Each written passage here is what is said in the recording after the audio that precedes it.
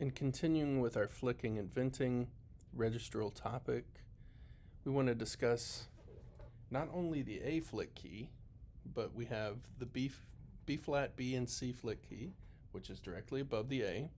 And then we have the D key, all right, which we use to flick D above the bass clef staff.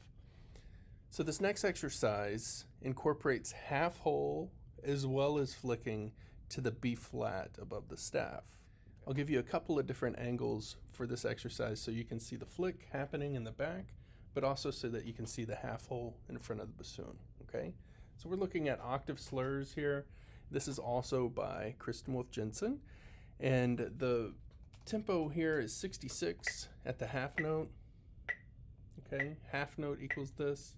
So I'm gonna play from this angle first so that you could watch the flick action happen. All right, I'll do both lines. One, two.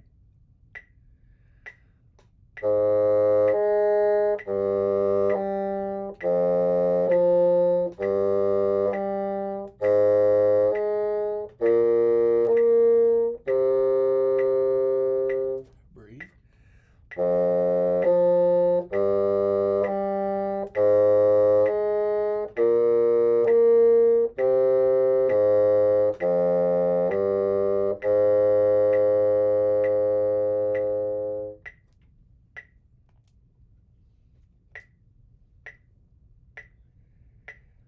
you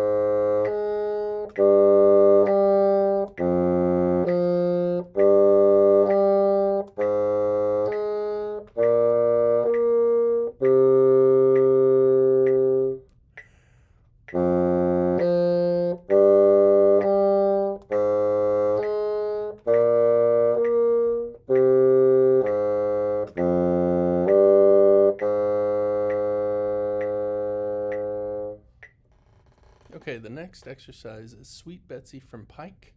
All right, this is a traditional tune, and you'll have some flicking in here. You'll notice there's two flats in the key signature B flat and E flat.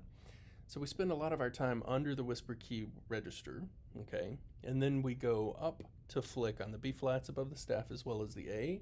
So when we're playing this, I want you to really watch here, flicking from the B flat to the A, okay. Repeated notes need to be flicked every time. Okay, so if I'm playing B flats here, or A, and your job is to try to coordinate that exactly when you flick with when you tongue. Okay, so quarter note at this tempo. There's a breath mark written halfway through the first line. You should breathe in almost the exact same place in the second line, in between the F and the low B flat at the mezzo piano. Okay. I'll give you one, two, three, one, bomb, bomb. Okay. There we go. One, two, three.